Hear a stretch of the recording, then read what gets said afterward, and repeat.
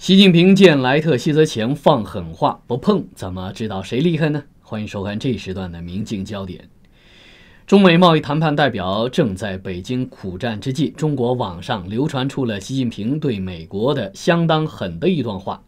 这番话据传是习近平去年在上海主持进博会的时候发表的一番内部谈话。大概的意思是，当年朝鲜战争，解放军只有十天的补给水平，照样和美国打了个有来有回。现在中国的武器已经是世界最先进的水平了，可能早晚还是要碰一下的。不碰怎么知道到底谁厉害呢？不碰怎么知道到底谁厉害？这番话直逼毛泽东纸老虎的豪言壮语。不过，这番话迄今为止还没有获得中国官方的证实，也没有被中国的官方所否认。据香港《明报》的报道说，这番话的真假难辨，但是不排除是有意放出，为软化论来消毒。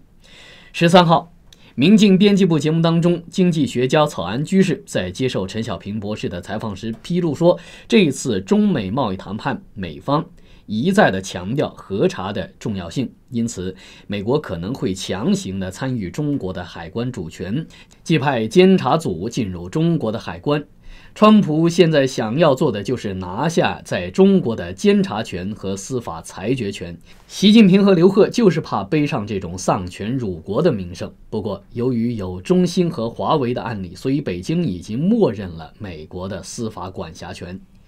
与此同时，据知情人士向《华尔街日报》透露说，中国和美国谈判代表本周的重点是制定一份贸易协议的总体框架，以便两国领导人在可能举行的峰会上最终敲定协议。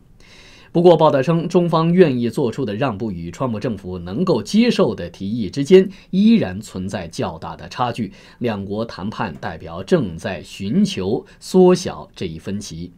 美国贸易代表莱特希泽和财政部长姆努钦率领的美国高层代表团已经抵达北京，周四将和中国副总理刘鹤的中方团队开始举行为期两天的会谈。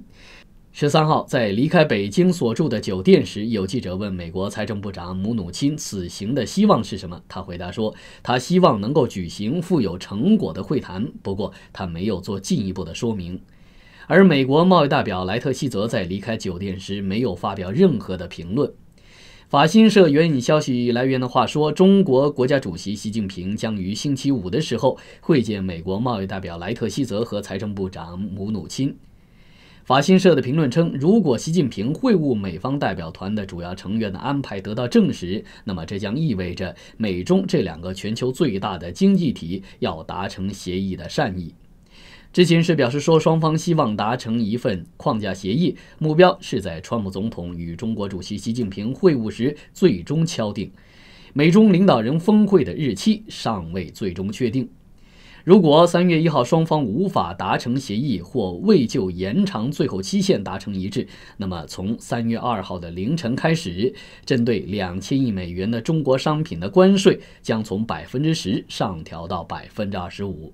不过，川普前两天流露出来，他期待和习近平尽快的会晤，也考虑可以把三月一号的休战截止日期再一次的延长。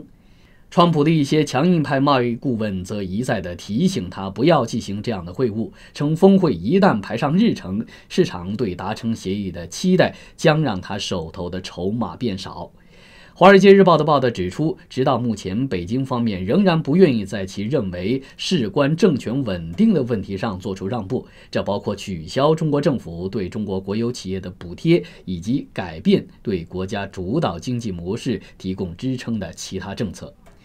双方在这些问题上仍然存在着巨大的分歧。根据上述知情人士的话说，如果双方本周能够敲定一个框架协议，可能会包括中方现已经提出的建议。但是，像中国的产业政策这种更棘手的议题，可能会留给两国的领袖会晤的时候再一次的来决定。好了，以上就是这一时段的明镜焦点。